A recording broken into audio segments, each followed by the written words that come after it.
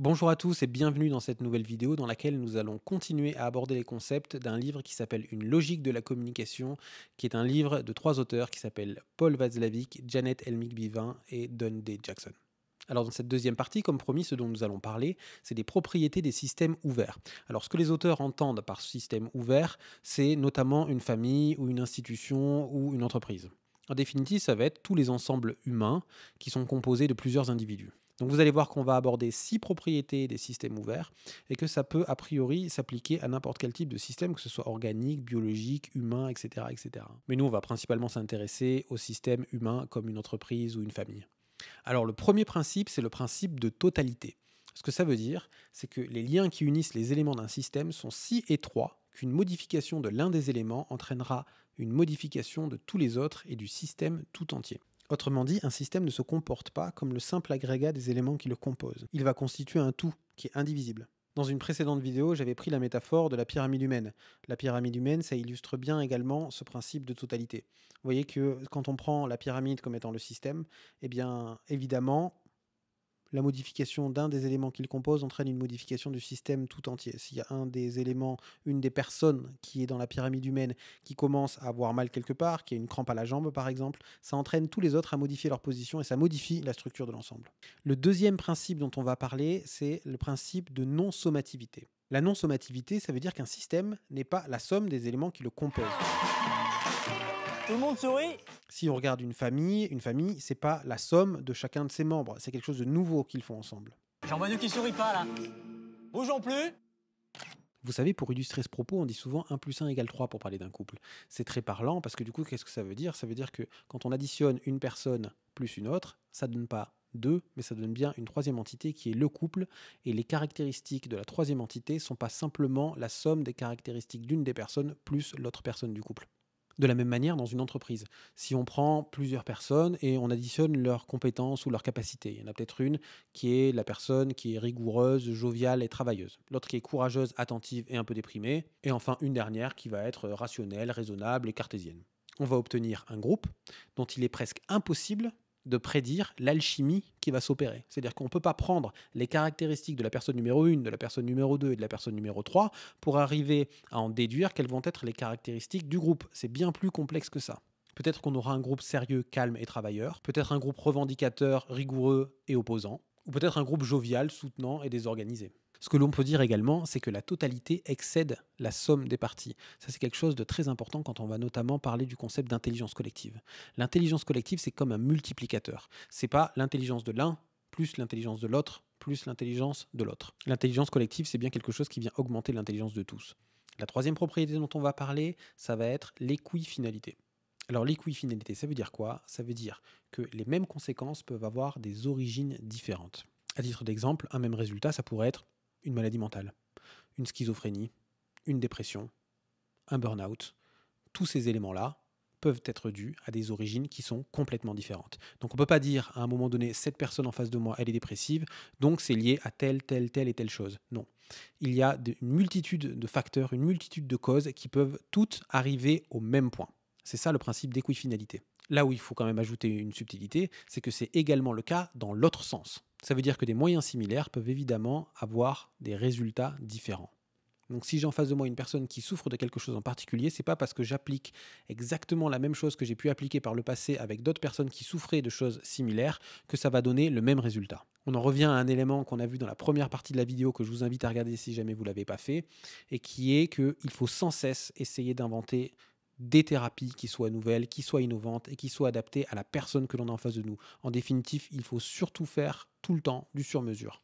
C'est une idée qu'on peut également extrapoler à d'autres champs d'action. Si votre institution ou votre entreprise a traversé des difficultés et que par le passé vous avez appliqué des solutions qui ont fonctionné, c'est pas euh, pour ça que si vous appliquez ces solutions dans la crise que vous traversez potentiellement aujourd'hui, qu'elles vont fonctionner de la même manière qu'elles ont fonctionné par le passé. Il faut toujours se réinventer, toujours trouver des solutions différentes. Vous savez, à titre d'exemple, euh, on a l'habitude de dire que la thérapie, ça a plus rapport avec une forme d'art que d'artisanat. Dans le sens où si vous suivez cette idée, euh, si on considère la thérapie comme un art, ça veut dire qu'il faut sans cesse être créatif, ça veut dire qu'il faut sans cesse inventer des choses nouvelles et non pas tenter d'appliquer des choses que l'on sait déjà faire. La quatrième propriété dont on va parler, c'est la propriété qu'on va appeler de rétroaction, ou en anglais de feedback. Dès lors, on peut considérer qu'à chaque fois que vous êtes en interaction avec quelqu'un, vos comportements, vos actions, vos paroles influencent l'autre et les réactions de l'autre influencent les vôtres en retour. Quand on parle de feedback, du coup, on peut parler de feedback positif ou de feedback négatif. Quand je dis ça, il faut bien voir que quand je dis feedback positif, ça ne veut pas dire que la communication a un aspect positif. Ou quand je dis feedback négatif, ça ne veut pas dire que euh, l'interaction qui est en cours a plutôt un aspect négatif. Un exemple de feedback positif dans le cadre d'une interaction plutôt négative serait si je suis en colère et que je subis une provocation, ça aura plutôt pour effet d'augmenter le comportement agressif. C'est au sujet de quoi est-ce C'est au sujet qu'en fait c'est la mienne et je vais vous mettre un pain dans la gueule mais quelque chose de violent. Mais tout à fait eh bien, je dirais également que le genou peut partir dans les noix de manière assez soudaine et que ça pourrait éventuellement vous faire sortir les baloches par les oreilles. N'y voyez aucune malice. Alors qu'en l'occurrence, dans ce cas bien précis, un feedback négatif, ce serait l'autre qui commence à avoir des comportements qui viennent rabaisser la pression et qui vont faire diminuer la tension. Et en l'occurrence, il s'agit bien d'un résultat positif dans ce cas de figure. La cinquième propriété dont on va parler, c'est le principe d'homéostasie. Les principes d'homéostasie, en fait, ils ont pour fonction de ramener l'équilibre dans un système. Une nouvelle fois, quand on parle d'un système comme une famille, un équilibre, ça ne veut pas dire que tout le monde est heureux et on ne parle pas de l'équilibre interne des individus. J'avais déjà donné cet exemple dans une précédente vidéo. Ça veut dire qu'il peut y avoir des familles dans lesquelles, si on les regarde de l'extérieur, il y a un certain équilibre, mais il y a certains individus à l'intérieur qui souffrent plus que d'autres. De la même manière, dans une institution ou dans une entreprise, si on regarde de l'extérieur, vous pouvez avoir l'impression que tout fonctionne très bien. Il y a d'ailleurs de très très grosses entreprises qui, d'un point de vue externe, pourrait nous donner l'impression qu'elle fonctionne très bien, notamment parce qu'elle génère beaucoup d'argent, mais quand on regarde à l'intérieur, je peux vous garantir que les individus qui sont dedans souffrent énormément. Les mécanismes d'homéostasie, en définitive, ils ont fonction de ramener un système à un état d'équilibre. Ça explique notamment pourquoi est-ce que l'on pourrait les confondre avec un principe de résistance. Évidemment, quand il y a un changement qui est à venir, on peut voir euh, s'opérer de nombreuses résistances. Ces résistances, elles ont cette fonction d'homéostasie, c'est-à-dire qu'elles tendent à retrouver un équilibre dans un système qu'on connaissait auparavant. Dans le champ de la thérapie, par exemple, il faut être très vigilant parce que lorsqu'on commence à soigner une personne dans une famille, évidemment, si on la prend, qu'on la sort de la famille, qu'on la traite, qu'elle va mieux et qu'on la remet à l'intérieur de la famille, c'est un changement pour la famille, ça. Et donc, il peut y avoir un principe d'homéostasie qui va commencer à se remettre en place. Par exemple, les auteurs du livre ont repéré, dans leur étude sur la schizophrénie, que parfois, quand ils prenaient euh, un schizophrène, un patient schizophrène, ils le traitaient, ils le soignaient à l'hôpital, et quand ils le renvoyaient dans sa famille, ils se rendaient compte qu'il commençait à nouveau à développer des symptômes. Ou alors, ils se rendaient compte que si jamais il le sortait de la famille et qu'il commençait à le traiter, une autre personne à l'intérieur de la famille commençait à développer des symptômes. Donc bien sûr qu'il faut être très prudent quand on parle de symptômes ou de diagnostic, mais surtout, il est extrêmement important de prendre en compte le contexte dans lequel ces symptômes se sont révélés. Pour les auteurs du livre, par exemple, un syndrome aussi grave qu'un syndrome psychotique pourrait être une adaptation à un milieu qui serait marqué par des communications paradoxales. Et enfin, la sixième propriété dont on va parler, elle est intimement reliée au principe d'homéostasie. Il s'agit de deux gros mots, vous allez voir, c'est le mot de morphostase et de morphogénèse. Alors ces deux concepts-là, moi je les ai découverts dans un institut de formation qui s'appelle l'IFACT, dont je vous remettrai euh, le lien du site internet dans la description de la vidéo, et vous allez voir que je trouve qu'ils sont particulièrement pertinents et qu'ils éclairent et rendent plus complexe le principe d'homéostasie. Ce que ces concepts viennent nous dire, c'est que évidemment, chaque système, comme une famille ou comme une entreprise, a vocation à trouver toujours un état d'équilibre. Mais que cet état d'équilibre, il est fait de plusieurs phases. Il y a des phases qu'on va appeler des phases de morphostase et des phases de morphogénèse. La morphostase, c'est en fait le moment où l'équilibre se consolide. La morphogénèse, ça va être le moment où il y a un changement dans le système qui amène à un bouleversement et à une redéfinition des rôles si on prend le cas d'une entreprise, ça pourrait être le moment dans lequel il y a une montée en charge, une montée en puissance, ou si on est dans un système de production, il va y avoir euh, davantage de commandes et on va devoir adapter le cycle de production. Bah ça, c'est le moment de la morphogénèse également. On va devoir trouver une nouvelle organisation. Si maintenant je prends l'exemple d'une institution, ça pourrait être un changement, par exemple, euh, si on est dans le médico-social, un changement de politique sociale qui va amener certaines institutions à devoir opérer des changements pour pouvoir répondre de manière efficace aux nouvelles demandes qui leur sont adressées. Donc du coup, en l'occurrence, il va falloir que tout le monde se réadapte et ça va créer un moment de morphogénèse également.